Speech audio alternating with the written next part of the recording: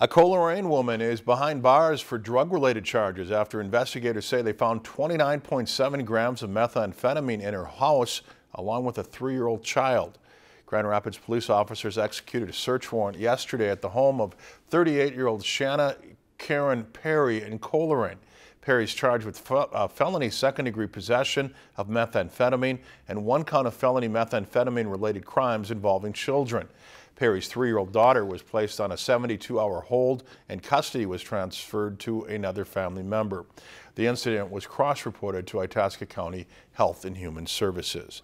If you enjoyed this segment of Lakeland News, please consider making a tax-deductible contribution to Lakeland PBS.